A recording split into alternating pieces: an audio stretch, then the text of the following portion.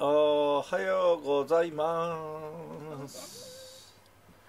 ジャン君ポンちゃん窓際に集まったね。やっぱり秋になると日差しが柔らかいからいいよね。この間までここ開けたら室温がぐんぐん上がったけど今は快適です。ジャン君もポンちゃんも気持ちよさそうです。はいはいね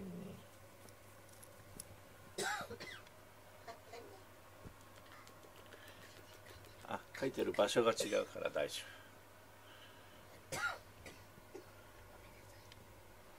ポンちゃんポンちゃん。ポンちゃんポンちゃん。これえええピントがあ暗いからかな。ちょっと明るく。はい。はいピント合いました。ポンちゃん。ポンちゃん仕事が入ったよ犬をいっぱい描く仕事だよ。犬をいっぱい描く仕事が2つとフラミンゴを1個描くよ。はい。